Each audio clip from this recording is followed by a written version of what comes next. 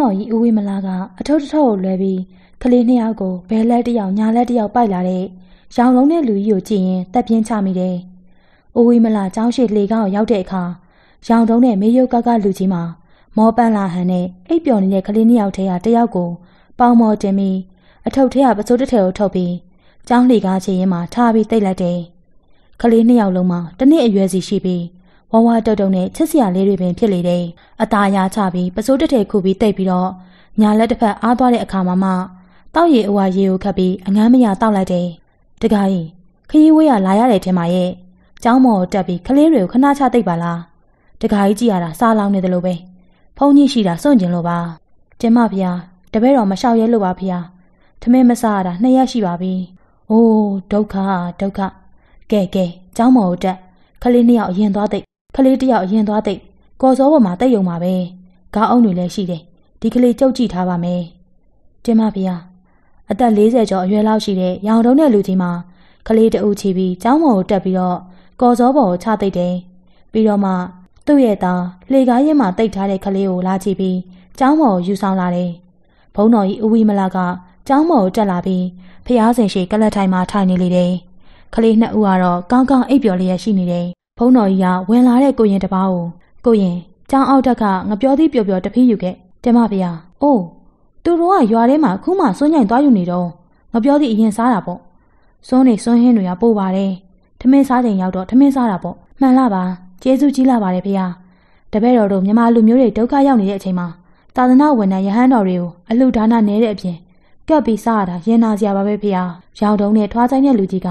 ဦးဝီမလာကိုကြော်ရင်ရှောက်တင်လိုက်တယ်။ ကံအကြောင်းပေပေါ်တကာကြီးတကာကြီးတို့လိုလူတွေအများကြီးပြေးကြလွှားကြဒုက္ခရောက်ကြရ။ตาတကွယ်မရတကွယ်ဖြစ်ကြ။တွေးရတာဘုန်းကြီးစိတ်မကောင်းပါဘူး။ကလပ်ဖြူတွေကလည်းရွာတွေကိုမီးရှို့ဆိုတင်းမဖေ။တပည့်တော်ကြက်တုံကင်းရွာပါ။တပည့်တော်တို့ကလူရှိသမျှစုပြီးကလပ်ဖြူတွေကိုဒုတ်ဓားတွေနဲ့တွန်းလှန်ပါတယ်ဖေ။သူတို့ကမီးပေါက်လက်နက်ရှိတော့ပြစ်ခတ်ပြီးတော့ရွာကိုမီးရှို့လို့ထွက်ပြေးလာရပါတယ်။တပည့်တော်ရဲ့နာမည်ကတက်တူပါဖေ။အလိုတကယ်လူနဲ့မှလာတွေ့ရတာကို ကြက်တုံကင်းကဗိုလ်တက်တူဆိုတာမှတ်တယ်။တင်မတပည့်တော်ပါပဲဖေ။အေးအေးရန်အောင်ကျောင်းတရားဆိုတာသစ္စာဓမ္မဝရိယညာနာတဲ့ကွ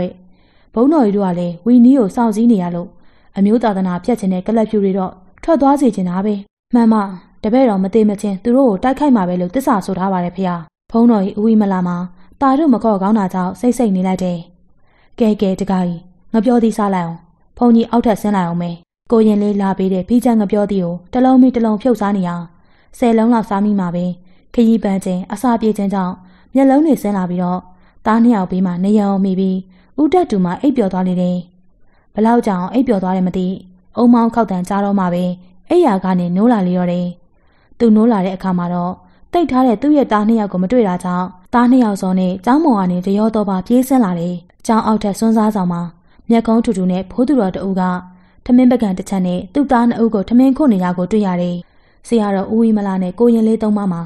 စွန်းစားဆောင်မှာစွန်းဖုံပေးပြီးအချိုဝဲနေထိုင်နေတာကိုတွေ့ရတယ်။อืมတခါကြီးတက်တူသားတွေပျောက်လို့ထင်တယ်။ကလေးတွေကတကယ်လိမ်မာပြီးအေးတဲ့ကလေးတွေပဲ။ပြီးစားကောင်းတယ်။မငို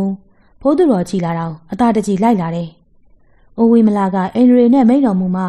ဦးတက်တူကဆရာတော်ကိုကြော့ပြီးသားတွေနားမှာထိုင်လိုက်တယ်။သားလေးတွေကသူတို့အဖေကိုပြုံးပြကြတယ်။ ဆာဆာသားတို့သားသမီးစားနေရတာကိုဝမ်းသာပီတိဖြစ်တဲ့မိဘတွေရဲ့စိတ်စေတနာအတိုင်းခေါင်းကိုညွှန်ပြီးပြောလိုက်တယ်။ကလေးနှစ်ဦးကနားလေဟန်နဲ့ဝတ်သားဟင်းတွေနဲ့ထမင်းခုတ်နေတာကိုပါးစားဟပြီးစားနေကြလေတယ်။ဖိုးသူတော်မှာအသက်30လောက်သားရှိပြီးမျက်ခုံးထူထူနဲ့ဥပရိယုတ်ကောင်းလာသူတဦးဖြစ်တယ်။အရက်ရှည်ပြီးတန်မာကြက်လက်တယ်။ဆရာတော်နဲ့ကိုရင်တွေမှာစွန်းစားပြီးလို့ထပြီးတော့ကြွမြန်းဖို့ပြင်ကြတယ်။တခါကြီးသားတွေစားတာကြီးပီတိဖြစ်မနေနဲ့။ဟိုမှာ စကားနဲ့အုပ်ထားတဲ့ထမင်းစပွဲကတခါကြီးဖို့ပဲသွားစားပြီးတော့တင်မဗျာသူတော်ရွှေထီဒီတကာကြီးကိုနေဖို့အိတ်ဖို့ပါစီစဉ်ပေးလိုက်တိတ်ပင်ပန်းလာတယ်စားပြီးရင်ဖျားတိုက်ထဲမှာအိတ်ပါစေဒီနေ့တော့ကလေးတွေမင်းကြည့်ပေးလိုက်တင်မစိတ်ကူးပြီးသားပါဖျား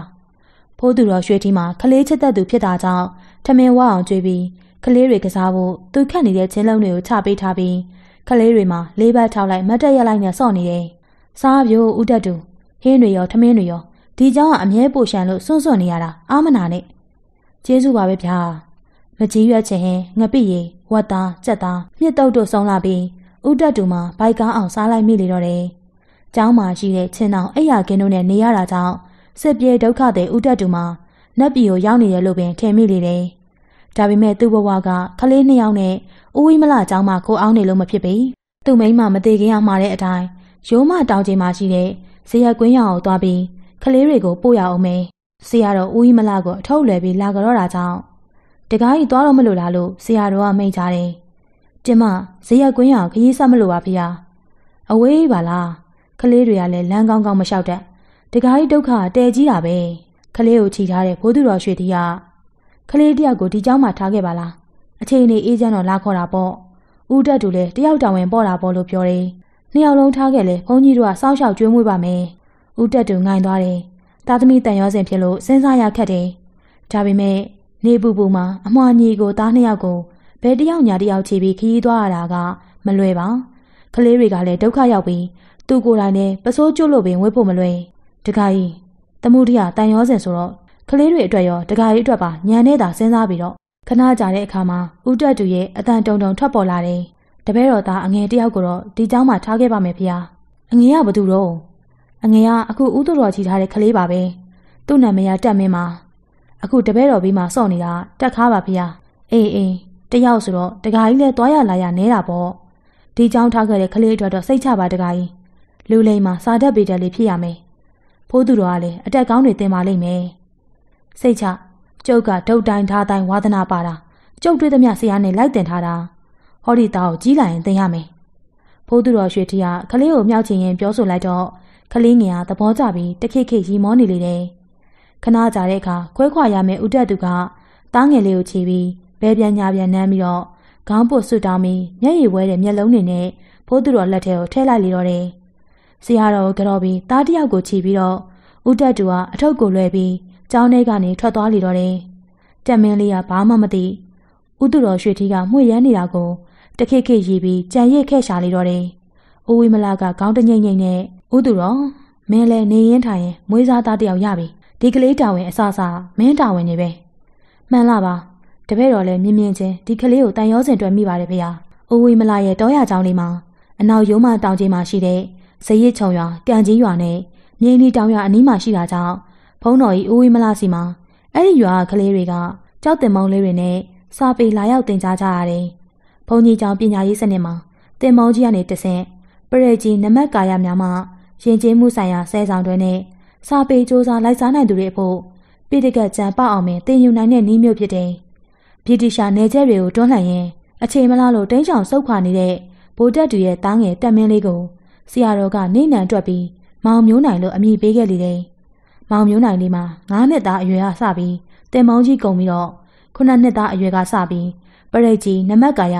ရတနာရွှေချိုင်းနဲ့တကြိုများကိုပင်တက်မြောက်နေပြီဖြစ်ပြီးတော့ အရေးအဖက်တောင်းတောင်းပြေးနေပြီဖြစ်လေတယ်။12နှစ်သားအရွယ်မှာတော့ကပီးတရာကျန်းနဲ့ဇာတကဝိထုပါဠိတော်တွေကိုနေတရပေးနိုင်လာအောင်ပင်ပေါက်မြောက်လာလို့ဆရာတော်ကအထူးနှစ်သက်သဘောကျလေတယ်။ဒီအထဲမှာဖိုးသူတော်ရွှေထီးမှာသူ့ဝါဒနာအရ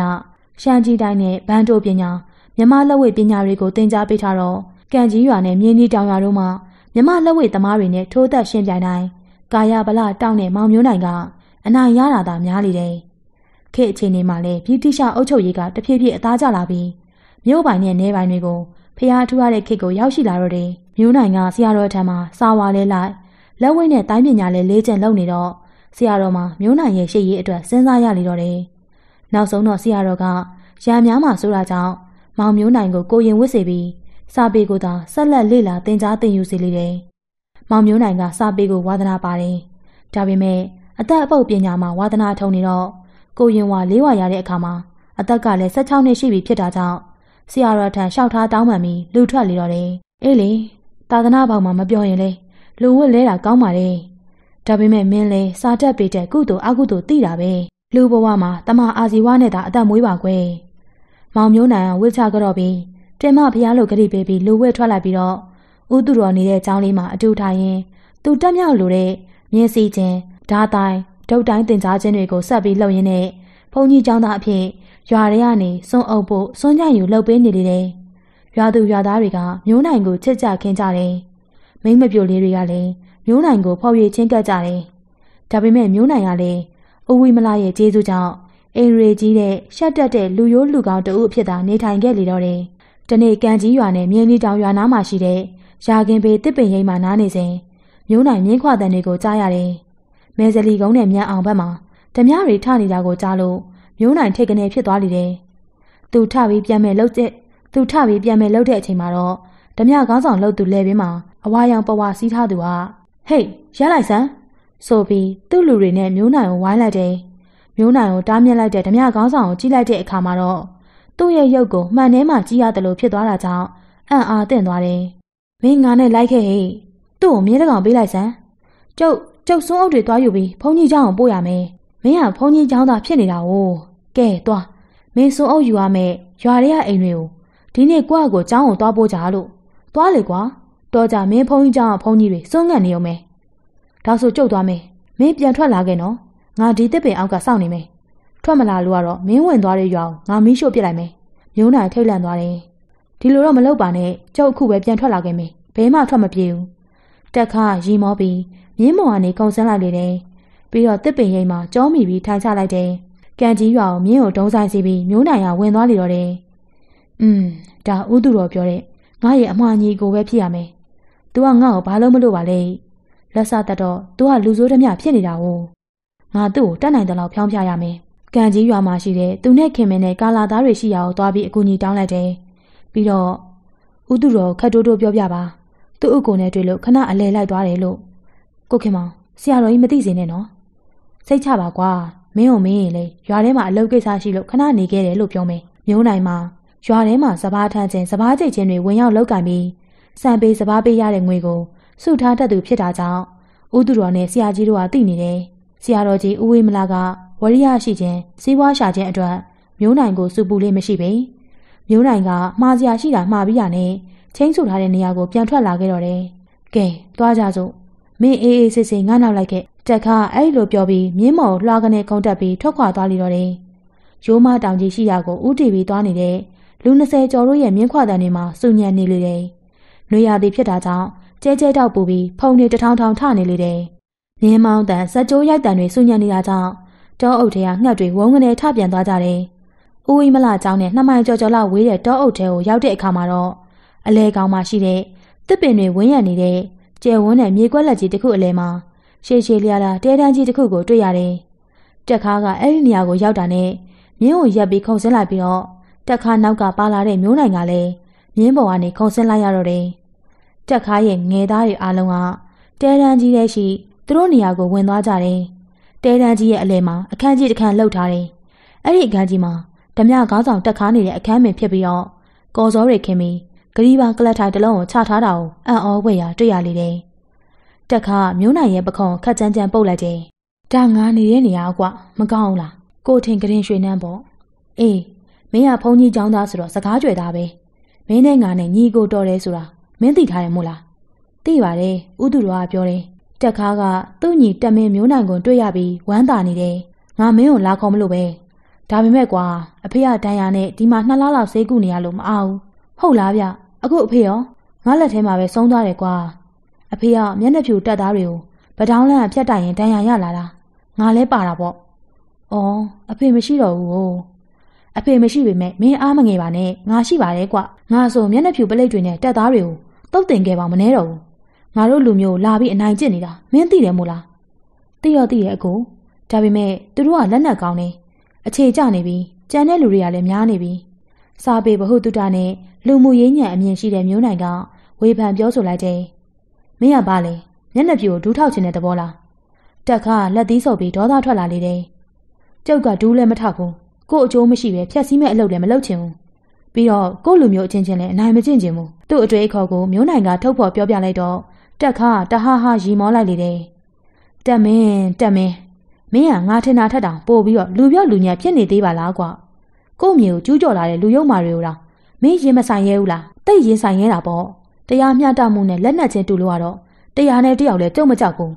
အချိန်နေမဟန်တဲ့အချိန်မှာနီလန်းရှာတဲ့နေလူစုလက်နက်အင်အားစုပြီးတော့အကွက်ကောင်းစောင့်တဲ့နေအဲ့ဒါဆိုသူတို့ဇက်ခွာစီးမှာပေါ့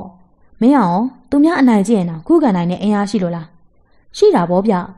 မျိုးနိုင်ရဲ့စကားကိုမယုံကြည်ဟန်နဲ့တက်ခါကမဲလိုက်တယ်တတက်ကားကထရက်လိုက်တယ်မျိုးနိုင်ကလည်းထရက်လိုက်လေတော့တယ်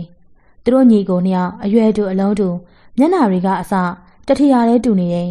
တက်ခါကအသားနဲ့နဲ့ပို့ပြီးညိုတာကလွဲပြီးအမွှာညီကိုနှစ်ဦးမှခွဲမရအောင်ပြန်တူညီနေလေတယ်တက်ခါကသူ့ရဲ့ကလထိုင်ရှိရာကိုသွားပြီးထိုင်ချလိုက်တယ်ကဲငါညီငါကပြောလိုက်ယုံတဲ့ကောင်မဟုတ်ဘူးကွာ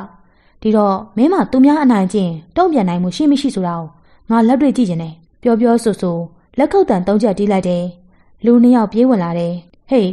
ရမထာနဲ့အန်ဝါငါစီလွှတ်လိုက်စမ်းကောင်းပါပြီဆရာကြီးလူနှစ်ယောက်ပြန်ထွက်သွားတယ်တက်မင်းမင်းငါ့ကိုလေမကျဲနဲ့တော့ကျိုးတာပဲ့တာအသက်အန္တရာယ်ဖြစ်တာအထိရှိနိုင်တယ်မင်းမဘာတိုက်ရိုက်ခိုင်းမှမရှိရင်ဝန်ခံလိုက်မင်းကငါတို့တင်ပေးမယ်မျိုးနိုင်ကခေါင်းခါလိုက်တယ်ကျုပ်တလောက်သွေးမကြောင်ပါဘူးကျုပ်ကိုမတရားအနိုင်ကျင့်ရင်တော့ကျုပ်ရင်ဆိုင်ခုခံနိုင်အောင်လေ့လာထားပါတယ်ဟာအလားကြီးပါလားကွာကြည်ရသေးတာပေါ့မကြခင်ကျွဲပေါက်တကောင်လိုမဲနေပြီးပခုံးသားလက်ပြင်သားတွေဖုထစ်နေတဲ့ ရမထာဆိုတဲ့ဓမြကြီးနဲ့အရံမြင့်မြင့်နှာခေါင်းပြပြတုတ်ခိုင်တဲ့ခန္ဓာကိုယ်ရှိတဲ့အံဘွားတို့ရောက်လာကြတယ်ကျွန်တော်တို့ရောက်လာပါပြီဆရာကြီးအေးအေးမင်းတို့လည်းရှိရတစ်ပင်ရိပ်မှာသွားဆောက်ကြီးမားတဲ့ကုတ်ကိုပင်ကြီးရှိရာမြက်ကင်းပင်ကိုရမထာနဲ့အံဘွားကထွက်သွားတယ်တနေရာမှာရှိတဲ့အခန်းထောင်းကခွက်ထဲကိုညာလဲထည့်ပြီးတက်မင်းခဏမင်းကငါနဲ့ရုပ်သိပ်တူတော့သူတို့နှစ်ယောက်မြင်မင်းကိုငါကြောက်တာနဲ့ညှပြီးအမှန်တရားဖြစ်မှာမဟုတ်ဘူး ပြောပြောဆိုဆိုစေးမေတစ်ချမ်းကိုတက်မင်းရဲ့မျက်နှာကိုကန့်လက်လက်ဝါးနဲ့အုပ်လိုက်တယ်ကြက်ကိုးနဲ့မင်းရောထားတဲ့အဲ့ဒီခွက်မှာလူရောက်မသိစေဖို့ဓမြတိုက်သွားတဲ့အခါတက်ခါနဲ့သူ့အဖွဲ့သားတွေကရုပ်ပြက်ရာမှာတုံးတဲ့စီဖြစ်တယ်ရမထာနဲ့အံဘွားမှာစခန်းဆောင်ဖြစ်ပြီးတက်ခါစီဝင်လာစဉ်ကကြောပေးပြီးရက်နေတဲ့မျိုးနိုင်ရဲ့မျက်နှာကိုမမြင်ဘူးကြစီကဲသွားစို့တတိတော်ရှိနော်ဒီကောင်တွေကခါးရိုက်ချိုးတာတို့လဲလံပြစ်တာတို့လုပ်တတ်တယ်ငါတော့ရှိပါတယ်အခုကျုပ်ကိုဝင်းမကူပါနဲ့ ကျုံညံလို့ကျုပ်တင်သေးပါစေတက်တီကိုတော့ကြိုက်သွားပြီဟေးဒါမှငါညီလူမိုက်လူစောတပုံဖြစ်နေတဲ့တက်ခါမှာသူ့ညီကိုပခုံးပုတ်ပြီးချီးကျူးလိုက်ခြင်းဖြစ်တယ်ကုတ်ကိုပင်နဲ့ဗတော့ပင်ကြီးများမှာကြီးမားလှပြီးပင်ပြားထက်မှာအကားကျင်ထိနေတာကြောင့်တက်ပင်တွေကြားမှာရှိတဲ့မြေကွက်လက်မှာနေပြောင်မထိုးအောင်ပဲအရေးရနေတယ်တစ်ဖက်နဲ့တစ်ဖက်တက်ပင်တွေမှာပင်90တရားလောက်ဝေးပြီးနှစ်ချို့ပင်ကြီးတွေဖြစ်လို့ကြီးမားလာတာကြောင့်အခုလိုအရေးရနေခြင်းပင်ဖြစ်လေတယ် တက်မြစ်ပေါ်ထိုင်နေတဲ့ရမထာနဲ့အံမွားတို့ထရလိုက်တယ်တဲတောင်စပိုးဆောင်မှာအငွေ့တလူလူထွက်နေတဲ့မနှက်စာချက်ပြုတ်နေကြခြင်းပင်ဖြစ်တယ်တဲထဲမှာထိုင်သူထိုင်ရက်သူရက်ဆက်လိုက်တောက်သူတောက်လုံနေတဲ့အဖွဲသားတွေလှမ်းလာကြတယ်တက်ခါထွက်လာရင်တစုံတရာပြဿနာရှိပြီကိုသိကြလို့တိုက်ပွဲတစ်ခုခုကြီးရတော့မှဖြစ်တော့ကြောင်းမင်းကဲဟေးရမထာတို့အဖွဲ့တဲ့ကိုရောက်လာတဲ့လူသစ်ကိုထုံးစံအတိုင်းမင်းတို့နှစ်ယောက်ပညာပေးလိုက်စမ်းပါကွာတိတ်ပြောညံ့လဲတေးပါစေ အဖွဲ့ထဲမှာလူတယောက်ကိုအပိုကျွေးမထားရတော့ဘူးပေါ့တက်ခါခါထောက်ပြီးပြောလိုက်တယ်အနည်းရှိတစ်ပင်တွေအောက်ကိုရောက်ရှိလာတဲ့အဖွဲ့သားတွေကလက်ခုပ်တီးလိုက်ကြတယ်ရမထာဆိုတဲ့ကျွဲလူတုတ်ခိုင်မဲနဲ့နေတဲ့ဓမြမှာအသက်30လောက်ရှိပြီးသူ့ရဲ့လက်ကြီးတွေမှာတာမန်လူတွေထက်ပိုကြီးရလို့ထင်မှတ်ရလေတယ်အံမွားဆိုတဲ့လူကတော့နှာခေါင်းပြပြမေးရုပ်ခိုင်ခိုင်နဲ့ဘောင်းမီပွားကိုဝတ်ဆင်ထားတယ်မျိုးနိုင်ကသူ့ဝတ်ဆင်ထားတဲ့ဖြင်ချမ်းလက်တော်ကိုချုပ်ပြီးတစ်မြစ်တစ်ခုပေါ်ပြစ်တင်လိုက်ပြီးတော့ ပစိုးကိုတိုးတိုးဝစ်ပြီးသူ့ကိုရက်ဆောင်နေတဲ့ရမထာနဲ့အံမွားတို့ရှိရာကိုရှောက်သွားလေတယ်သူ့ရဲ့လက်မောင်းစုံကြီးတွေမှာတာမန်လူတွေထက်ကြည့်ပြီးတိုင်းပညာတစ်ခုခုကစားသူဖြစ်တယ်လို့သိတာနေတယ်ကျွဲပေါက်လိုလိုရမထာနဲ့အံမွားဆိုသူတွေထက်မဆိုတလောက်အရင်နဲ့မဆိုတလောက်အရင်နိုင်ပေမဲ့မျိုးနိုင်ရဲ့အရက်မှာငားပေရှက်လက်မထက်တော့မပူပါဘူးရမထာလက်သီးနှလုံးကိုဆုပ်ပြီးရှေ့ကိုတိုးလာတယ်အံမွားကတော့အခြေအနေကိုစောင့်ကြည့်ပြီးသူ့လိုမဝင်မယ် ရမထာတအုံးနဲ့နဲ့ပင်ကိစ္စပြီးချင်းပြီးမယ်လို့ယူဆပြီးလက်ပိုက်ပြီးကြည့်နေလေတယ်ကျွဲကြီးတကောင်ပြေးခတ်လိုက်တယ်လို့ရမထာကမျိုးနိုင်ကိုဘဲလက်သီးညာလက်သီးတို့ပြေးဝင်ထိုးလိုက်တယ်သူ့ရဲ့လက်သီးထိုးပုံမှာလက်ဝဲပညာကောင်းကောင်းတက်ကြွသူနဲ့တူနေလေတယ်။မျိုးနိုင်ကပထမလက်သီးကိုခေါင်းငုံရှောင်ပေးလိုက်တယ်။ဒုတိယဘဲဝိုက်လက်သီးထိုးလိုက်တယ်။သူ့ရဲ့လက်တစ်ဖက်နဲ့ကားလိုက်တယ်။ကားပုံမှာဘဲဝိုက်လက်သီးထိုးလိုက်တဲ့ရမထာဘဲလက်ပြန်ချောင်းသူ့ရဲ့ညာလက်ပြန်ဆောင်နဲ့ခပ်ပြင်းပြင်းရိုက်ထုတ်လိုက်ခြင်းဖြစ်တယ်။ ပြီးတော့မျိုးနိုင်ကအဲ့ဒီလက်နဲ့ပဲမထင်မှတ်တဲ့လက်သေးတစ်ချက်ကိုထိုးချလိုက်တယ်။ဖြောင်းကနေလက်ပြန်နဲ့ကားလိုက်ပုံနဲ့အဲ့ဒီလက်ကိုဆက်ပြီးရမထာရဲ့နှစ်ဖူးကိုဆက်ပြီးအာသွင်းထိုးပုံမှာတစ်ဖက်လိုမထင်မှတ်အောင်မြန်လာလို့ရမထာရဲ့နှစ်ဖူးကိုခွက်ကနေတဲမတ်စွာထိသွားတယ်။ရမထာမှာနောက်ကိုလန်သွားရမှာခြေလန်သုံးလေးလန်နောက်ပြန်ဆုပ်ပြီးလဲမကြအောင်ထိန်းလိုက်ရတယ်။အုံတီကိုကွဲအောင်ကျောင်းမှာထိုးကျင်ထားတဲ့မျိုးနိုင်ရဲ့လက်သေးချက်မှာအားပါလာပြီးခေါင်းထဲမှာမူးဝေသွားတယ်။ တော်ယုံလူဆိုရင်ဖင်ထိုင်ရဲ့လဲကြပြီးပြန်ထနိုင်တော့မှာမဟုတ်။သူ့လူလက်သေးချက်ထိသွားတာကြောင့်အံဘွားမှာပိုက်ထားတဲ့လက်ကိုဖြီးပြီးမျိုးနိုင်ရဲ့မျက်နှာကိုခြေပြားနဲ့လှမ်းပြီးခတ်ထည့်လိုက်တယ်။မျိုးနိုင်ကတတိထားနေသူဖြစ်လို့မင်းကိုနောက်ကိုလှမ်းပြီးတော့ရှောင်ပေးလိုက်ပြီးအပေါ်အားလွန်သွားတဲ့အံမွားရဲ့ပေါင်ရင်းကိုသူ့ရဲ့ခြေစုံနဲ့ခပ်ပြင်းပြင်းကန်ထုတ်လိုက်တယ်။ဖောင်းကနေအတန်နဲ့အတူအံမွားနောက်ကိုရိုင်းထွက်သွားတယ်။ရက်တည်နေတဲ့ပေါင်နှင်းသားအကျောကိုမိမိရရကန်လိုက်လို့ခြေထောက်တည်ပင်နာကျင်သွားတယ်။ မျိုးနိုင်တိုက်ခိုက်ပုံမှာကြက်ကောင်းတဲ့တိုက်ကွက်ကိုမိမိရရချိန်ဆမှန်ကန်ကြောင်သိရှိလိုက်ရတယ်။မျိုးနိုင်ကအဲ့လိုအံမွားကိုကန်လိုက်တဲ့အချိန်မှာပြေးပြီးတော့မျိုးနိုင်ရဲ့ခါကိုပကုံးနဲ့ထမ်းယူပြီးမြေကြီးပေါ်ကိုကိုင်းပေါက်ချလိုက်တော့တယ်။မျိုးနိုင်ကသူ့ကိုခါကနေမှပြီးပကုံးနဲ့ထမ်းလိုက်တဲ့အချိန်မှာပဲဘဲဘက်တတောင်ကစောစောကသူ့ထိုးထားခဲ့တဲ့ရမထားရဲ့မျက်ကုံးထက်နှစ်ဖူးနေရာကိုစောင့်ထောင်းချလိုက်တယ်။ကင်ပေါက်မဲ့ရမထားမှာအားပြော့ပြီးဖြစ်တယ်လို့လွှတ်ချလိုက်ရတယ်။မျိုးနိုင်ကမြေကြီးပေါ်ကိုတစောင်းကျသွားရမှ ကြောင်တကောင်လိုဖြက်ကနေလှည့်ပြီးလေးဘက်ထောက်လိုက်ပြီးတော့သူ့ကိုတိုက်ခိုက်ဖို့ပြေးလာတဲ့အမ်မွားရဲ့ညာဘက်ပေါင်ကိုဖနှောက်နဲ့လှမ်းကန်လိုက်တယ်။ပွဲရကြည့်လို့ကောင်းတယ်။ရမထားတရင်တရိုင်ဖြစ်သွားတယ်လို့ပဲစောစောကပေါင်ကျော်ကိုနောက်ဘက်ကနေအကန်ခံရပြီးအခုရှေ့ကနေဖနှောက်နဲ့အပေါက်ခံရလို့မထိန်နိုင်ဖြစ်ပြီးတော့အံမွားဖင်ထိုင်ကျသွားတယ်။အံမွားနဲ့ရမထာနှစ်ယောက်ကြားမှာမျိုးနိုင်ရရက်နေတယ်။အံမွားမှာနှစ်ဖူးမှာအလွန်နာကျင်ပြီးမူးဝေနေတယ်။အံမွားကညာခြေတစ်ဖက်မထောက်နိုင်အောင်ဖြစ်နေလေတယ်။ တက်ခါမှာတစ်ပင်ကိုကြောမိပြီးလက်ပိုက်ကြည့်နေရမှသူ့ညီရဲ့တိုက်ခိုက်မှုကိုသဘောကျပြီးပြုံးနေတယ်။အံမွားရောရမထာပါရှေ့မတိုးရဲသလိုဖြစ်နေတယ်။ပြီးမှအာတင်မီပြိုင်တူပြေးလာကြတယ်။မျိုးနိုင်ကဝမ်းကောင်းတိုင်နဲ့အော်ပြီးလေထဲကိုခုန်တက်လိုက်ပြီးတော့ခြေနှစ်ဖက်ကားပြီးသူ့စီကိုပြေးလာနေတဲ့ဘယ်ဘက်ညာဘက်မှရမထာနဲ့အံမွားတို့ကားပြီးကန်ထုတ်လိုက်တယ်။ညာခြေဆောင်ကရမထာရဲ့နှစ်ဖူးဘဲခြေဆောင်ကအံမွားရဲ့ရင်ညွန့်တန်းဝင်သွားတယ်။ ရမထာမှာတနက်ပြစ်ခံလိုက်ရတဲ့ကျွဲတကောင်လိုကျေလောင်းစွာအော်ရင်ဘုံကနေလဲကျသွားတယ်။သူကလုံးဝသတိမရှိတော့ဘူး။အံမွားကလက်ထောက်ပြီးတော့ဖင်ထိုင်ရက်ကျသွားတယ်။ထားဖို့ကြိုးစားပေမဲ့ပါဇက်ထဲကနေပွက်ကနေသွေးတွေအန်ချပြီးဆောင်းလဲကျသွားတယ်။မျိုးနိုင်ကသူ့ကိုယ်ဘွားဖုံတွေကိုခါပြီးတင်းမြစ်ပေါ်ကပြင်းချမ်းအင်ကြီးလက်တို့ကိုကောက်ယူလိုက်တယ်။ဓမြတွေကမျိုးနံကိုဝိုင်းပြီးလက်ခုပ်တီးပြီးတော့အားပေးကြတယ်။အင်ကြီးကိုပခုံးတင်ပြီးတက်ခါရှိရာကိုရှောက်လန်းသွားတယ်။တက်ခါကစီးကြိုပြီး လက်ကမ်းပြီးတော့လက်ဆွဲနှုတ်ဆက်လိုက်တယ်။မင်းကငါထင်သားသလိုလူပြောလူညံမဟုတ်လို့ဝမ်းသာပါတယ်ကွာ။လာချွဲတွေရွှဲနေရပဲ။ခဏနားပြီးရေချိုးလိုက်။ပြီးရင်ထမင်းစားရမယ်။ကျုပ်ပြန်ကျင်နေဗျာ။မျိုးနိုင်ကပွင့်လင်းစွာပြောလိုက်တယ်။နေပါဦး။မင်းနဲ့ငါတွေ့လို့စကားပြောလို့တော့မဝသေးဘူးတက်မင်း။မင်းအဖေလည်းမရှိတော့ဘူးအမေလည်းမရှိတော့ဘူးဒီလောကကြီးမှာသွေးရင်သားရင်ဆိုလို့မင်းနဲ့ငါနဲ့နှစ်ယောက်တည်းပဲရှိတယ်မင်းကငါအတင်းကျပ်ခေါ်မထားပါဘူးငါစခန်းမှာတညတော့အိပ်ပါလား တို့အောင်ပွဲရလာလို့ဒီညမီးပုံပွဲရှိတယ်မျိုးနိုင်ကတက်ကားကိုအားနာသွားလို့ခေါင်းငိတ်လိုက်ရတော့တယ်သူကမောင်းတက်နဲ့ဆွဲရတဲ့ရေတွင်းမှာရေသွားချိုးတယ်ပြီးတဲ့အခါတဲတန်းကြီးနောက်မှာရှိတဲ့ဝါးနဲ့ပြုတ်လုပ်ပြီးဝါးနဲ့ခင်းထားတဲ့ထမင်းစားခုံရှည်ကိုရောက်လာတယ်ဓမြအားလုံးလူပေါင်း20ကျော်ရှိတယ်ရမထာနဲ့အန်ဝါတို့ကလောလောဆယ်ဆေးလိမ့်ပြီးတဲထဲမှာရှိတဲ့သူတို့ရဲ့နေရာမှာနားနေရတယ်။ဆေးကူတာတက်တဲ့ဓမြရှိလို့သာတော်သေးတယ်။ မျိုးနိုင်မှာတိုင်းပြည်အတွက်အသက်ဆွနေကြတဲ့ဓမြတွေကိုကြည့်ပြီးတနာရမလို့လို့စိတ်ပြက်ရမလို့လို့ဖြစ်နေမိတယ်။ဒီနေ့မှာမျက်နှာဖြူတစ္ဆာတော်ကအရေးပိုင်တအုပ်စီက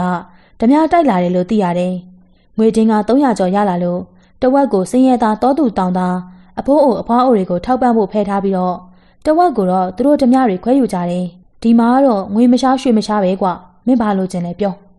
ထမင်းစားဖို့ထိုင်နေရင်ရွှေတင်းကားသုံးပြောက်လက်မနဲ့တောက်ပြီးတက်ခါကပြောတယ် ကျုပ်ဘဝမှာရွှေမလိုပါဘူးဗျာငိမ့်ချမ်းနဲ့ပတ်ဝန်းကျင်နဲ့တရားမျှတမှုကိုပဲလိုချင်တယ်အေးအဲ့ဒါမျိုးကလည်းတိုက်ယူမှရတယ်ကွတက်ခါကသူ့အယူအဆကိုပြောတယ်ဒီမှာအကိုကျုပ်ကလူတစ်မျိုးတိုက်ရင်နိုင်မှတိုက်တာဗျကျုပ်မနိုင်လို့ထင်တဲ့တိုက်ပွဲတွေတော့တိတ်ခါအကြခံပြီးတော့အရှုံးပေးရအောင်မတိုက်ဘူးနိုင်တဲ့နီးလန့်အောင်ရှာပြီးအင်အားပြည့်မှတိုက်တယ်မင်းစကားမစိုးပါဘူးကွာမင်းအယူဆမမအောင်ဒါပေမဲ့တက်မင်းငါကမျက်နှာဖြူလူမျိုးလဲတက်ဖူးတယ်ပက်လိုက်လဲတက်ဖူးတယ် ငါဘဝဆက်တိုက်ရမှာပဲမင်းလိုကြံစီဖို့နောက်ကျသွားပြီဒါဆိုလဲတနည်းအားတိတ်ချောင်နေပေါ့ဗျာဒီမျက်နှာဖြူအစိုးရမရှိတော့ရင်သူတို့ဥပဒေလည်းဘယ်ရှိတော့မလဲဟေးတက်ခါအနှဲငယ်တွေ့ဝေသွားတယ်အဲ့ဒီအချိန်မှာပဲထမင်းတောင်းနဲ့ဟင်းအိုးတွေတဲယူပြီးထမင်းစားဖို့အတွက်ငပြောဘက်တွေခင်းလိုက်တာကြောင့်ညီကိုနှစ်ယောက်စကားစပြတ်သွားကြတယ်။ထမင်းပူပူပေါ်မှာကြက်သားဟင်းအရင်နဲ့ကြက်သားတစ်စုံစီထည့်ပြီးတော့စားလို့လားမသိထမင်းစားကောင်းလာလေတော့တယ်။ မျိုးနိုင်မှာသွေးသားရင်းဖြစ်တဲ့သူ့အကိုတက်ခါကိုတန်ရောစင်ရှိသလိုတက်ခါကလည်းသူ့ရဲ့ညီအပေါ်မှာတန်ရောစင်ရှိတယ်။ဘိုက်ဝအောင်စားပြီးသူ့အခန်းထဲမှာရှိတဲ့ဂရင်မော်တက်ပြီးအိမ်မောကျနေတဲ့သူ့ညီမျိုးနိုင်ရဲ့မျက်နှာကိုတက်ခါကဝါကလတ်ထိုင်နဲ့ဒစိမ့်စိမ့်ထားကြည့်နေလေတယ်။อืมငါညီလေးကြည့်ရတာသူတော်ကောင်းပညာတွေနဲ့နေရတော့စာတတ်ပေတယ်လေးဖြစ်နေရှာတယ်ငါဘဝကမကောင်းပေမဲ့သူ့ဘဝကကောင်းတယ်ငါဘာပဲဖြစ်ဖြစ်သူ့ကိုငါလိုမဖြစ်အောင်ဂရုစိုက်ရမယ် သူကလည်းအဖေသွေးပါတော့တိုက်တဲ့ခိုက်တဲ့ဗီဇကတော့ရှိတယ်မျိုးနိုင်ကတော့ခလင်းငယ်တဦးလိုပင်အိမ်မောကြနေလေတယ်နေ့လယ်ပိုင်းတစ်ပင်ရိပ်ကောင်းတဲ့တဲမှာဖြစ်ပြီးလူနှစ်ဦးနဲ့တိုက်ခိုက်ထားရတဲ့မျိုးနိုင်မှာအိမ်မောကြနေလေတော့တယ်တက်ခါကဝါပလက်ကလက်ထိုင်းကထပြီးအခန်းထဲမှာလမ်းလျှောက်နေလေတယ်အဲ့ဒီအချိန်မှာပဲခက်ဝေးဝေးတောထဲကနေတနက်ပြစ်တန်ဇက်တိုက်ထွက်ပေါ်လာတယ်အိမ်မောကြနေတဲ့မျိုးနိုင်မှာဇက်ကနေနိုးလာပြီးကရင်မွားနေထပြီးကြည့်လိုက်တယ်တက်ခါကမြင်လိုက်ရတယ်တနက်တန်တွေကြားတဲ့အကို ဒီပတ်ဝန်းကျင်မှာဘယ်သူမှမရှိပါဘူးကွာဒိုးအဖွဲ့တွေကလူတွေညမီးပုံမွဲအတွက်တားကောင်သွားပစ်တာပါစိတ်ချလက်ချအိပ်ပါမျိုးနိုင်ကတတိရှိပြီးတော့အိအိတ်ဆက်သူဖြစ်ကြောင်းတက်ခါနားလေသွားတယ်မျိုးနိုင်ကအိပ်ရပေါ်ပြန်လဲလိုက်ပေမဲ့မအိပ်နိုင်တော့ဘူးအကိုဘာလဲကွာအကိုကိုကျုပ်ကဒီအချိန်မှာရာဇဝတ်မှုမရှိဘဲနဲ့ရွာတရွာမှာအေးအေးချမ်းချမ်းနေတဲ့ရွာသားတယောက်ဖြစ်စေခြင်းနဲ့ကျုပ်အကိုနဲ့အတူနေခြင်းနဲ့လက်နက်ဖက်ကိုခေါင်းခုပြီးပြောတယ်ဟဲ့ကောင်တိုးတိုးပြောစမ်း ငါအဖွဲသားတွေကြားရင်မင်းကိုဘလို့ထင်မလဲဒါဓမြစခန်းကဖုန်ကြီးเจ้าမဟုတ်ဘူးကျုပ်သိပါတယ်ကျုပ်အကိုကိုဘာလုပ်ပေးရမှန်းမသိဘူးဘာမှလုပ်မပေးနဲ့ဒီညမီးပုံပွဲပြီးရင်မင်းမနဲ့မင်းနေရဲ့နေရာကိုပြန်ဒီစခန်းကိုနောက်ဘယ်တော့မှမလာနဲ့တွေ့ကျင်ငါလာတွေ့မယ်မင်းဘဝနဲ့ငါဘဝဆက်ဆက်လို့မရဘူးဗျာမပြားနဲ့တက်မင်းလူဆိုတာသူ့ကံနဲ့သူပဲမင်းကငါထက်ပိုသိမှာပါငါကအဖေတင်မေးတဲ့လောက်သိရတာမင်းပြောတဲ့ ပတိယူပါဒေတာဝါသောစာမဖြစ်ဘူးဆိုတာငါသိတယ်မင်းဖြစ်အောင်နေမင်းအကြံအတိုင်းမင်းဆက်လို့ကျုပ်လည်းနေချက်အင်္ဂလိပ်ကိုမုန်းတဲ့သူမြမမြေပေါ်မှာမရှိစေချင်ဘူးမြမသွေးစစ်စစ်ဆိုတာအကိုယုံပါနော်ယုံပါတယ်ကွာငါသိတာပေါ့မင်းပြောတာတိတ်နီးလန်းကြတယ်ဒါပေမဲ့ငါအတွက်နောက်ကြတယ်ငါမှနောက်လိုက်ငယ်သားတွေရဲ့စားဝတ်နေရေးပါကြည့်နေရတယ်ငါတကူကောင်းလုပ်လို့မရတော့ဘူးငါဒီဘဝလွတ်အောင်သူတို့ကိုနေရာတကြားဖြစ်အောင်အရင်စီစဉ်ရမယ်ကျုပ်လည်းကူညီပါမယ်အေး လိုအပ်ရင်မင်းတို့ငါအကူအညီတောင်းပါမယ်တက်ခါကစကားဆုံးတာနဲ့အခန်းထဲကနေထွက်သွားတယ်ညနေဆောင်အချိန်ကိုတဖြည်းဖြည်းရောက်လာတယ်တဲရှိမြေကွက်လက်မှာတော့ထင်းချောက်တွေနဲ့တောထဲကနေထမ်းလာတဲ့တောဝက်တကောင်နဲ့စိတ်တကောင်ကိုချထားတယ်ရေရင်းမှာရေတွေချိုးကြအဝတ်တွေလျှော်ကြတယ်။အော်သူတို့ဘဝနဲ့သူတို့ပျော်နေကြတာပဲလို့မျိုးနိုင်ရကြည့်ရင်တရားကျနေပါတယ်။အဝတ်အစားတွေလဲပြီးသူများကမိဘုံပွဲအတွက်ပြင်ဆင်နေကြတယ်။အဝတ်အစားတွေလဲပြီးတဲ့သူတွေကမိဘုံပွဲအတွက်ပြင်ဆင်နေကြတယ်။ မြေရင်းမိဖို့တွေလုပ်ပြီးတစ်ဝါးတွေနဲ့တန်းထိုးပြီးတော့ဝက်နဲ့တောင်စိတ်ကိုတကောင်းစီกินနိုင်ဖို့စီမံလိုက်တယ်။ဘယ်နေရာကရှာလာတယ်မသိတဲ့ချက်အရက်မြေအိုးနှစ်အိုးသုံးအိုးမှလည်းမြက်ခင်းပေါ်မှာရှိနေပြီးတော့ဝါခွက်တွေကိုချိတ်ထားကြတယ်။တက်ခါကရက်ထဲလက်ပြတ်အနီရောင်ကိုဝစ်ဆင်လိုက်တော့ခန့်ညာချောမောတဲ့လူငယ်ရဲ့အလှကပေါ်လွင်နေတယ်။ပိုးတယ်နဲ့ဘန်ကောက်ဒေတာဆင်လိုက်ရင်တထေးသားနဲ့မချတင့်တယ်မယ်လို့မျိုးနိုင်ကသူ့အကိုကိုကြည့်ပြီးတွေးမိလေတယ်။ မိဘုံပွဲမှာတိုင်းကစားတဲ့ဒုတ်တွေထောင်ထားတာကိုလည်းတွေ့ရတယ်။တက်ခါအတွက်မျက်ကော်စောတစ်ချက်ကင်းပေးထားပြီးမျိုးနိုင်ရပါအဲ့ဒီပုံမှာတက်ထိုင်ခွင့်ရတယ်။မောင်စာပြိုးလာတာနဲ့ထင်းစတွေစုထောင်ဆိုင်ထားတဲ့အလေကမီးဖို့မီးရှို့လိုက်တော့ထိန်လင်းတောက်ပသွားလိမ့်တယ်။ကဲမင်းတို့အုပ်စုနှစ်စုခွဲစမ်းကိုကြိုက်တဲ့လူနဲ့ကိုတွဲဟိုဘက်တစ်ချမ်းဒီဘက်တစ်ချမ်းထိုင်ဟေးကြားကြီးငါတို့ဘက်လားလာဟေးကြုံဝင်ငါတို့အုပ်စုဒီမှာလေမီးပုံရဲ့တစ်ဖက်တစ်ချက်မှာလူနှစ်စုခွဲကြတယ် တစုကိုလူ73ယောက်လောက်ရှိမယ်မီးဖို့တာဝန်နဲ့ဝက်ကင်စိတ်ကင်သူ9ဦးမှာအဲ့ဒီလူစုတွေထဲမှာမပါချင်းဘာလို့မလို့လဲအကိုရစောင့်ကြည့်ကွာဒီကောင်တွေကိုငါစုချခြင်းလို့ပါမင်းလည်းစုလို့ချင်းဝင်ပြိုင်ဘာပြန်ရမှာလဲဒုတ်တိုင်းပြိုင်လို့တယောက်ကိုနိုင်သွားရင်ငွေတစ်ချက်ရမယ်အဲ့ဒီခေတ်ကငွေတစ်ချက်ကမနေပါတစ်ချက်ဆိုရင်အလွန်တန်မိုးရှိပြီးတော့တပြားနှစ်ပြားတောင်မှကောင်းညင်းပေါင်းမုတ်စီကျော်ဝဲလို့စားရပြီးကကဆိုင်မှာတော့မှတစ်ခက်ကိုနှစ်ပြားပေးရင် ပြည့်ပြည့်နှစ်နှစ်တောက်ရတယ်ပလိတ်လားစာမှာခုနှစ်ချက်တစ်မှတ်လောက်ရပြီးငွေတစ်ချက်ဘလောက်တန်မဲဘလောက်အသုံးခံမဲကိုတွက်ဆကြည့်လို့ရတယ်မြေရင်းမီးဖိုတွေကထင်းချောင်းနေမှာလဲမီးဆွဲလာပြီးတော့ဝမ်းနဲ့စိတ်တွေကိုတဖြည်းဖြည်းမြည်အောင်မီးမြိုက်ပြီးအပေါ်ကအမွှေးတွေကိုဓားရည်နဲ့ချစ်ချပစ်ကြတော့ရဲရဲနေပြီးအသားအခောက်တွေပေါ်လာလေတော့တယ်အမွှေးညံလည်းထွက်လာတယ်ကဲတယောက်စီထွက်တစ်ဖက်အုပ်စုကနေလူတယောက်ထွက်လာတယ်လက်ထဲမှာဝါးတုပ်ရှည်ကိုင်းလာတယ်ကဲဟေး ဟိုမှာကြော်တိုက်ထွက်လာပြီကြော်တိုက်နဲ့အတူတူတိုင်းပြန်ရဲတဲ့လူထွက်တက်ခါကအရက်တစ်ခွက်ကိုခတ်တော့ရင်အော်ဟစ်လိုက်ပြန်တယ်ဟုတ်ပြီတိုင်မောင်းတိုင်မောင်းနဲ့လက်ညီတယ်နိုင်အောင်တိုက်နိုင်တဲ့ကောင်စုငွေတစ်ချက်ပဲချက်ပြားစေးတစ်စေးကိုကောက်ပြီးတက်ခါကပြောလိုက်တယ်ဒုတ်ရှိသမားနှစ်ဦးကွင်းထဲမှာရင်ဆိုင်တွေ့တာနဲ့စပြီးသူနိုင်ကိုနိုင်ရိုက်ကြတော့တယ်အထိုးအရိုက်ဒုစနှစ်ဆကိုဘဲညာပြောင်းပြီးကင်တွယ်မှုကအရေးပါလာတယ်တက်မင်းတောက်လေအရက်အိုးရအရက်ခွက်ကိုခတ်ပြီးတယ်တက်မင်းကခေါင်းခါလိုက်တယ် ဟာအံ့ဩစရာပဲကွာမင်းတခါမှမတောက်ဘူးလားထရီတော့တောက်ဘူးပါတယ်တိတ်မူးရင်အန္တရာယ်ရှိတယ်မဟုတ်လားဒါကြောင့်ကြုတ်ချောင်းတာပါတောက်ပါကွာဒီစခန်းမှာတော့မင်းအသက်ကငါအသက်ပါပဲတက်ခါအတင်းတိုက်နေလို့မျိုးနိုင်မှာအရက်ခွက်ကိုယူပြီးမော့လိုက်တော့ရင်ထဲမှာပူကနေဖြစ်သွားလေတယ်သူ့စိတ်ထဲမှာလည်းပျော်သလိုဖြစ်လာတယ်ဟုတ်ပြီကွာကြော်တိုက်အောက်ထုတ်ကိုတတိထားအော်ပြီးအားပေးကြတယ်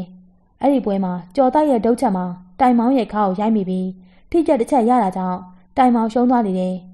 ကြော်တိုက်ကြက်ပြားစစ်တစ်စီတက်ကားစီကနေလာပြီးယူတယ်ငပြောဘက်တွေချပြီးကြက်ပြီးကျွတ်နေတဲ့အသားကင်တွေကိုလှီးပြီးလာချပေးလို့မျိုးနိုင်မှာအရက်သုံးခွက်လောက်တောက်ပြီးဝတ်သားကင်နဲ့စိတ်ကင်တို့ကိုစားပြီးတော့တက်ခါပေးမှာလဲအိတ်ပျော်သွားလိတော့တယ်။တန်ချောင်းခောက်တန်ကသုံးချက်တိတိထွက်ပေါ်လာတယ်။ပလိတ်ဌာနရှိအဆောင်ဂိတ်တဲလေးကခောက်လိုက်တဲ့နာယီတန်ချောင်းတန်ဖြစ်တယ်။မနက်3နာရီထိုးပြီး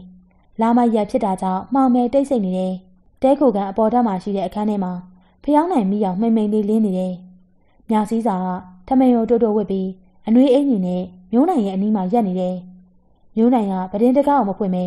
အမှောင်တုတဲကိုစူးစိုက်ပြီးကြည့်နေတယ်။လမ်းပေါ်ကနေသူတို့ကိုစောင့်ကြည့်နေတဲ့ပလိတ်နှစ်ယောက်မှာဘယ်နေရာမှာကိုပုံးနေတာကိုတော့မတွေ့ရတော့လူတဘာဝအရာတညလုံးအေးရေးပြက်ခတ်နိုင်သူကညတနာရီကျော်ရင်မျက်လုံးကဆင်းလာတယ်။ကျမ်းမာရေးကောင်းရင်ကောင်းတယ်လို့အစားအသောက်ကောင်းရင်ကောင်းတယ်လို့မျက်လုံးကဆင်းပြီးလုံးဝပဲမရက်တည်နိုင်အောင်ဖြစ်လာတတ်တယ်။ အဲဒါကြောင့်ဘယ်ညောင်းနေမဆိုလူလဲပြီးစောင့်ရတယ်။အခုအချိန်နေကြည့်ရတာကမျိုးနိုင်တို့ထိတ်လန့်စေဖို့6လတဲ့သဘောကာကွယ်တဲ့သဘောနဲ့စောင့်နေခဲ့ခြင်းဖြစ်လေတယ်။မျိုးနိုင်ကလည်းဗိုလ်တက်ကားအဖြစ်သူ့အကိုကိုစားလှုပ်ရှားမှုသူဖြစ်ရုံမကပိတကကျန်းစာတက်ဖြစ်တာကြောင့်အခြေအနေကိုသိတယ်။အဲဒါကြောင့်မြစည်းစာကိုသူမအခန်းမှာည၈နာရီလောက်ကလေးကအိတ်ခိုင်းထားတယ်။ချစ်သူတွေဖြစ်နေကြပေမဲ့အခြေအနေအကြက်အတဲကိုရင်ဆိုင်နေရခြင်းဘဝကဘာမှရေရာမှုမရှိလေခြင်းတို့ကြောင့် မြစည်းစာအပေါ်မှာချစ်သူတွေအဖြစ်တန့်ရှင်းစွာနေတယ်။သူ့ဘက်ကတောင်းဆိုရင်မြစည်းစာလိုက်ရောဖို့အသင့်ရှိနေတာကိုသူသိပါတယ်။ဒါပေမဲ့အကျင့်သိက္ခာရှိတဲ့မျိုးနိုင်ကမင်းကလေးတအူးကိုသူ့ရဲ့စိတ်အလိုလိုက်ပြီးအခွင့်အရေးယူတတ်သူမျိုးမဟုတ်ပေ။မြစည်းစာမှာမျိုးနိုင်မှားကြတဲ့အတိုင်းအိတ်ဆက်ပေမဲ့တောင်တွင်းမြောက်တွင်းနဲ့တော်တော်နဲ့အိတ်မပြောမျိုးနိုင်ကလည်းသူ့ရဲ့အခန်းမှာခေါင်းချပြီးအိတ်ပစ်လိုက်တယ်။သူကတောထဲမှာနေဘူးလို့အကျင့်ရှိတယ်။တတ်မှတ်ချိန်နဲ့တိုင်းတာအိတ်တက်တယ်။ 9နာရီလောက်မှာသူတို့အခန်းမှာမီးရောင်တွေမရှိတော့ဘဲ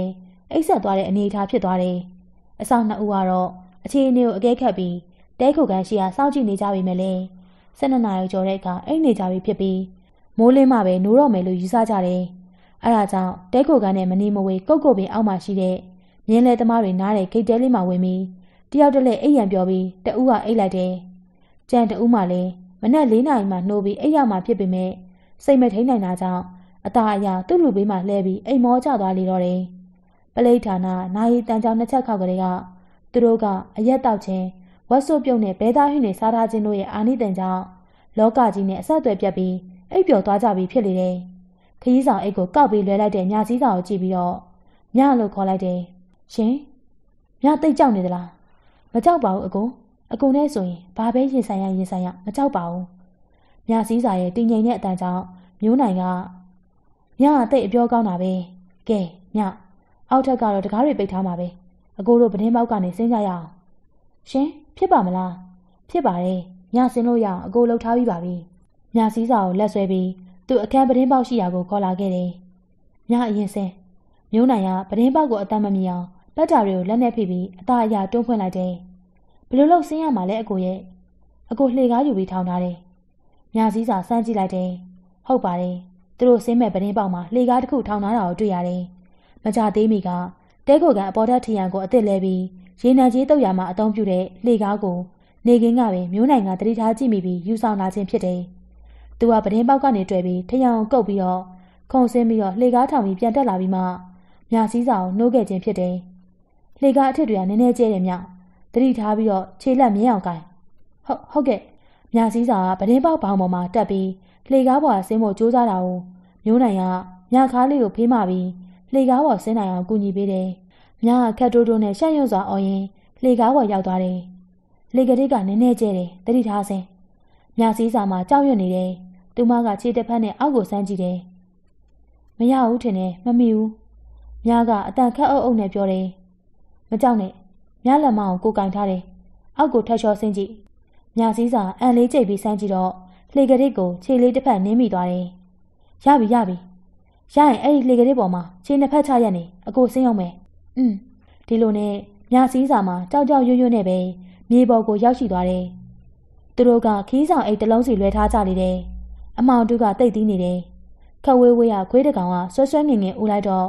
မြစည်းစာမှာကြောက်ရွံ့ပြီးမျိုးနိုင်ရဲ့ရင်ခွင်ကိုတိုးဝင်ပြီးဖတ်ထားလိုက်တယ်။တိတ်ကြောက်သွားလားမြ။မကြောက်ပါဘူး။ရုတ်တရက်မို့လန့်သွားတာပါ။ သူတို့က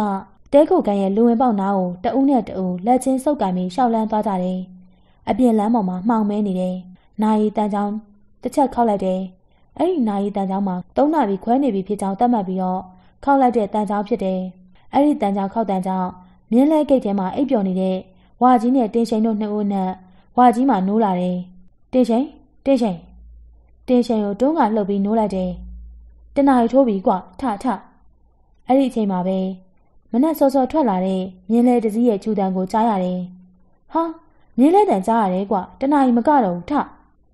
ဝါကြီးကအရက်မြင့်မြင့်နဲ့လူရဲ့လက်ကင်တရေတုပ်ကိုယူပြီးမြင်းလဲဂိတ်ကတဲအမို့ကိုကင်ပြီးအပြင်ကိုကြည့်လိုက်လေတယ်။အဲ့အချိန်မှာပဲ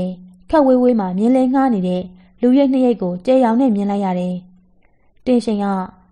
သူ့ရဲ့ဝါဖိုင်နဲ့ကိုကိုဝတ်တကောင်လိုလက်တစ်ဖက်ထောက်ပြီးထလာတယ်။တင်ရှင် ဟိုမှာမြင်းလဲငှားနေတာလူနှစ်ယောက်ကွာတဲကိုကန်အောင်မင်းသွားပြီးတော့လက်နှိပ်တက်မိနဲ့ထိုးကြည့်စမ်း။ဝါကြီးကမြင်းလဲထွက်ဆပြုတ်နေတဲ့နောက်ကိုပြေးလိုက်ရင်းနဲ့ပြောတယ်။ဟေးမြင်းလဲရက်ပလိတ်ဝကြီးကမြင်းလဲကိုអော်ပြီးအမိန်ပေးလိုက်တယ်။မြင်းလဲနဲ့သူမဂိုက်200လောက်ဝေးနေလေတယ်။မြင်းလဲသမားကဇက်ကျိုးကိုဆွဲပြီးရက်လိုက်တယ်။မြင်းလဲဆရာကြီးဆက်မောင်းပါ။မောင်းလို့မဖြစ်ဘူးလူကလေး။ဒါပလိတ်ကင်းကတားတာ။အခြေအနေအရမျိုးနိုင်ကသူ့ခါးရဓာတ်ကိုဆွဲထုတ်ပြီးမြင်းလဲမောင်းနေတဲ့ လူပူပူပိန်ပိန်ရဲ့ခါကိုထောက်လိုက်တယ်။ခမမမောင်းရင်တော့ကျွန်တော်မညဘူး။မလုပ်ပါနဲ့ဆရာရဲ့ကျွန်တော်မောင်းရင်အဖမ်းခံရမှာပါ။ဒါဆိုဇက်ကျိုးပေးခမခုံချလိုက်ခမမြင်းလဲနဲ့မြင်းလဲကောင်မြစ်စိတ်မှလာယူစိတ်ချရတဲ့လူတယောက်ယောက်စီမှာအပ်ခဲ့မယ်ဟုတ်ဟုတ်ကဲ့တေးရေးရှင်ရေးဖြစ်လို့မြင်းလဲမောင်းသမားကိုမြင်းလဲဘွာတွန်းချပြီးမျိုးနိုင်ကမြင်းလဲကိုတုံးဆိုင်ပြီးမောင်းသွားလေတော့တယ်ဟေးမြင်းလဲရက်မြင်းလဲပေါ်မှာမှောင်ထဲကနေလူတယောက်ခုန်ချသွားတာကိုဝါကြီးကမမြင်လိုက် ဒုံဆိုင်မောင်းပြေးတဲ့ထင်ပြီးလှမ်းအော်ကောင်းနေတယ်မျိုးနိုင်ကမြင်းလဲကိုကျွမ်းကျင်စွာမောင်းတက်နေသူဖြစ်တာကြောင့်မျက်စိတ်သွားရာတောင်မြင်ရှိရာကိုဒုံဆိုင်ပြီးမောင်းနှင်သွားလေတော့တယ်အရှိန်နဲ့ပြေးလာတဲ့ဝါကြီးမှာလူတယောက်ခေါ်တန်ကြောင်ရက်လိုက်တယ်။မြင်းလဲမှာအတော်ဝေးဝေးမှောင်ထဲမှာပျောက်ကွယ်သွားလို့သူလိုက်လို့မမိနိုင်ကြကြောင်းရက်လိုက်ခြင်းလည်းဖြစ်တယ်။လမ်းဘေးမြက်ကင်းပေါ်ကနေလူတယောက်ထွက်လာတယ်။မြင်းလဲသမားစိတ်အေးဖြစ်ကြောင်းမှတ်မိသွားတယ်။ဟာစိတ်အေးဘလို့ဖြစ်တာလဲ။ဟိုမြင်းလဲကမင်းရဲ့မြင်းလဲလား။ ဟုတ်တယ်။ယောက်ျားခက်ငယ်ငယ်တယောက်နဲ့မိန်းမချောချောတယောက်ငှားတာဆရာ။ဘယ်ကိုသွားတာလဲလဲ။မြစ်စိတ်ကိုအဲ့ဒီအချိန်မှာပဲတဲကိုကန်ထဲကိုဝင်ပြီးမျိုးနိုင်တို့တဲရဲ့တဲခုတ်ကန်းကိုလက်နှိပ်တက်မီနဲ့ဝင်ရောက်စစ်ဆေးခဲ့တဲ့ပလိတ်တင်ရှင်ကပြေးလာတယ်။မရှိတော့ဘူး။ဟိုနှစ်ယောက်မရှိတော့ဘူး။ငါဒီမှာတင်ရှင်ရိမြင်းလေကေရှိရာကိုသွားနေတဲ့တင်ရှင်ကိုဝါကြီးကလှမ်းអော်ပြီးတတိပေးတယ်။တင်ရှင်ကလိတ်လိုခန္ဓာကိုယ်နဲ့ပြေးလာရှာတယ်။ဝါရင်မင်းမြင်းလဲကိုရက်ခိုင်းတာမရက်ဘူးလား။ဟုတ်တယ်။ ကိုစိန်အေးမြင်းလဲကိုဓမြကောင်ကအပိုင်စီးပြီးတော့မောင်းသွားပြီးမင်းဌာနကိုသွားပြီးတော့ရာဇဝတ်အုပ်ဆရာကျော်လွင်ဆန်းကိုတရင်ပို့ပြီးတော့မင်းရောငါမြင်းလဲတစည်းရှာပြီးစိတ်အေးနဲ့မြစ်စိတ်ကိုလိုက်သွားနေမယ်။ตาကျော်ရဲ့အိမ်ဟာနီးတယ်ဆရာ။ဒီလောက်ဆိုသူမြင်းလဲထွက်ဖို့ပြင်နေပြီ။အဲ့ဒီသွားစို့ကွာ။ကိုနိုင်ကိုနိုင်မြင်းလဲမှာဒုံစားမိမြန်ဆန်လာတာကြောင့်မြစည်းစာမှာမြင်းလဲမောင်းနေတဲ့မျိုးနိုင်ရဲ့ခါးကိုနောက်ကနေဖက်ပြီးထိတ်လက်တကြားអော်လိုက်လေတယ်။ဘာလဲမြကြောက်နေပြီလား။ မြလှဲပေါ်ကပြုတ်ကြမှာကြောက်တယ်ကိုနိုင်။မကြပါဘူးမြရဲ့ဘေးထောင်ကိုကင်ပြီးတော့လက်တစ်ဖက်ကကိုနိုင်အောင်ဖက်ထားမြင်းစိတ်ရောက်တော့မှာပါ။တောင်မြင်ပေါ်ရောက်လာပြီဖြစ်လို့မြေရမကြီးမညာဖြစ်တော့တစ်ချက်တစ်ချက်ဂုံနာကလွဲပြီးမြင်းလဲမှာတဲတောင်ပြင်ပေါ်မှာပြေးနေတယ်။ခက်ဝေးဝေးမြစ်စိတ်ကဘဲငယ်လေးတွေနဲ့လှေလေးတွေပေါ်မှာမိရောက်တလက်လက်ကိုမြင်နေရတယ်။မြစည်းစာကမျိုးနိုင်ရဲ့လက်မောင်းကိုကြစ်ကြစ်ပအောင်ဖတ်ထားလိုက်လေတယ်။မကြခင်အကျော်ဆိုင်နဲ့ထမင်းဆိုင်တွေနားကိုရောက်ရှိလာတယ်။ အကျော်ဆိုင်နားမှာမြင်းလဲကိုရက်လိုက်တယ်။မျိုးနိုင်ကမြင်းလဲဘွားနေခုံချပြီးအကျော်ဆိုင်နားမှာမြင်းလဲကိုထားရင်မြစည်းစာကိုလက်ကမ်းပြီးတော့မြင်းလဲဘွားနေဆင်းဖို့ကူညီပေးတယ်။မြစည်းစာကခီးဆောင်အိတ်လေးလွယ်ပြီးဆင်းလာတယ်။အကျော်ရပြီလား။မျိုးနိုင်ကအကျော်အိုးပြင်းနေတဲ့အဖွားကြီးကိုမေးလိုက်တယ်။အဖိုးကြီးကထင်းမီးတွေထည့်ရင်းနဲ့ခဏနေရပါပြီ။အဖကျွန်တော်တို့ပတ်စံပေးခဲ့မယ်။ဒီမြင်းလဲလာယူတဲ့ကျွန်တော်မိတ်ဆွေကိုပေးလိုက်ပါ။သူ့ကိုဒီမှာမြင်းလဲထားခဲ့မယ်လို့ပြောထားတယ်။အော်ရပါတယ်။ တိုင်မှာမြင်းလဲကျိုးကိုချီထားခဲ့ပါ။အကျော်ကတတ်မှတ်ဖို့အတွက်ငွေပေးတဲ့အပြင်နောက်ထပ်ငွေတစ်ချက်ပေးရကြောင်းအကျော်တဲကအဖိုးကြီးကဒီတစ်ချက်က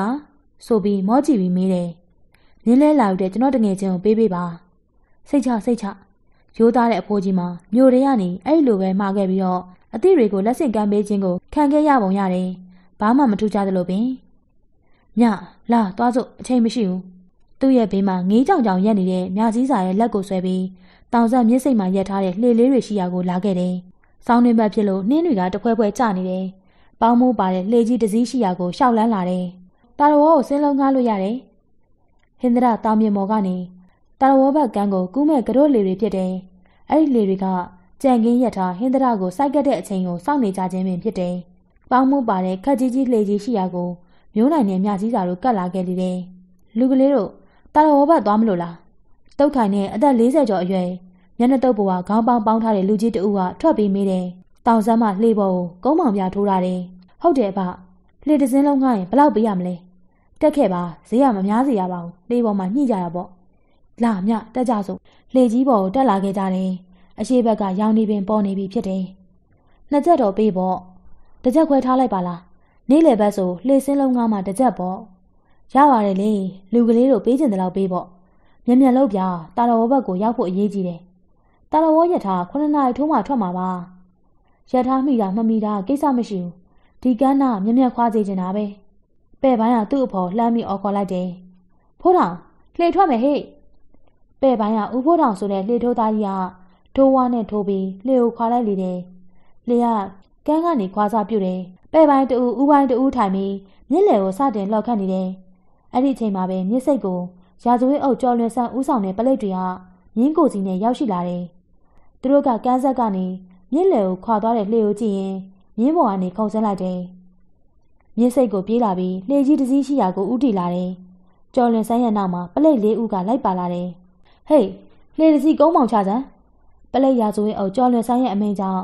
ကန်းနဲ့ကန့်နေပေမဲ့ကုန်းမောင်မချပဲကြောက်ချနေတဲ့လှေကြီးကကုန်းမောင်တွေချလိုက်ကြတယ်။ကျော်လွင်ဆန်းကလှေသုံးစီးတွေကလှေကောင်းအောင်ရွေးပြီး လာဟေးဒီလှေပေါ်တက်ကြဒီလှေကလှေထိုးသားများတယ်လို့ပြောပြီးပေါင်းမိုးခက်မြင့်မြင့်ရှေ့နောက်ပေ30လောက်ရှိတဲ့ကရုတ်လေကြီးပေါ်ကိုတက်ထိုင်လိုက်ကြတယ်။လေပေါ်မှာလူချဦးတိတိရှိတယ်။ရထားအဆိုင်မှာလူများများတင်ပြီးကရုတ်ကများများရမယ်လှေကြီးပဲဖြစ်တယ်။လေတကြီးမှာရစိုးအုပ်ကျော်လွင်ဆန်းနဲ့တည်နေတဲ့ကြော်မောင်ဖြစ်တယ်။ဘာဖြစ်တာလဲဆရာကျော်လွင်ဆန်း။ကျွန်တော်ဘာကူရမလဲ။ကျွန်တော်ဘာကူညီရမလဲ။ဓမြလိုက်ဖန်တာကွာ။ကြော်မောင်မှာငွေကြေးအသင့်အသင့်ရှိပေမဲ့လေပိုင်ရှင်ဖြစ်ပြီးပျော်တတ်သူဖြစ်တယ်။ လူကလည်းဦးကြောင်ကြောင်နိုင်နေ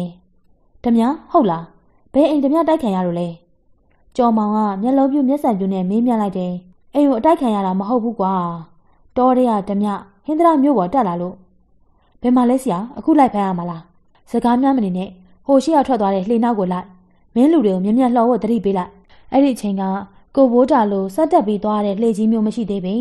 ဟင်္ဒရာနဲ့တာရဝေါဘက်ကိုအေယာဝရီမြစ်ဖြတ်ကူးတဲ့ကတို့လီမှန်သမျှ ကြီးကြီးသေးသေးလက်နဲ့လော်တဲ့လှေတွေကြီးသာဖြစ်ကြတယ်ကျော်မောင်ကသူ့လူတွေကိုအမိတ်ပေးလိုက်တယ်။ကျော်မောင်ရဲ့တပည့်တွေကလည်းပလိတ်ရဆိုးအုပ်နဲ့ပလိတ်တွေလှေပေါ်တက်ကလေးက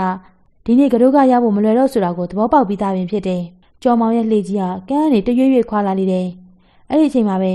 အဲ့ဒီအချိန်မှာပဲခက်ဝဲဝဲတောင်ဆက်ကလှေတစ်စင်းပေါ်လာပြီးမျိုးနိုင်နဲ့မြစည်းစာတို့စီးသွားတဲ့လှေကြီးနောက်ကိုဥတီလှော့ခတ်သွားလေတယ်။တောင်ကိုပတ်ပြီးတရဝေါစိတ်ကန်းကိုဥတီလှော့ခတ်နေတဲ့လှေကြီးပေါ်မှာရှိတဲ့ပေါင်းမှုအောက်မှာတော့ မျိုးနိုင်နဲ့မြစည်းစာတို့မှာလှေနေအောင်မိပြီးရှင်တွဲထိုင်နေကြတယ်။လှေဦးကလှော်နေတဲ့မျက်နှာတုပ်ဘူကကောင်းပေါင်းတဲ့လူကတောင်ဆက်ကထွက်ပြီးသူတို့လှေနောက်ကိုလိုက်လာတဲ့